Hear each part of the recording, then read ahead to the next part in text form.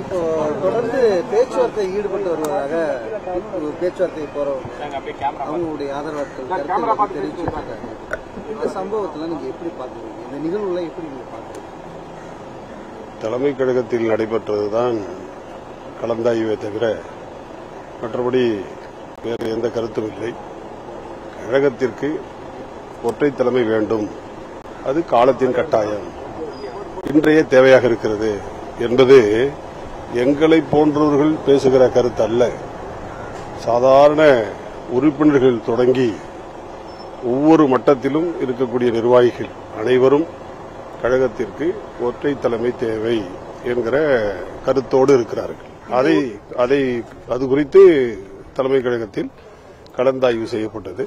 அது மட்டுமே தான் நிகழ்வு தீர்மானம் நிறைவேற்றணும் அப்படின்னு சொல்றாங்க. நடைபெற இருக்கக்கூடிய பொதுக்குழு செயற்குழு கூட்டத்துல ஒற்றை தலைமை குறித்து ஒரு தீர்மானத்தை நிறைவேற்றி அதன் பிறகு முடிவு செய்து திட்டமிடுறாங்க.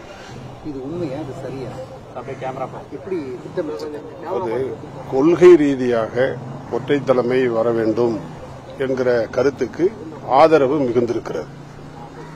வரக்கூட பொதுக்குழு செயற்குழு கூட்டத்தில் அதுக்கான அறிவிப்பு வரும்? யார் ஒற்றை தலைமை அப்படிங்கிற அறிவிப்பு வரும்? அது மூத்த கழக நிர்வாகிகள் கலந்து பேசி முடிவு வருவார்கள் ஓபிஎஸ் தான் வர வேண்டும். இபிஎஸ் தான் வர வேண்டும் அப்படின்னு கருத்துக்கள் வந்து பரவலா பேசப்படுகிறது. உங்களுடைய ஆதரவு உங்களுடைய நிலைப்பாடு எப்படி இருக்கு?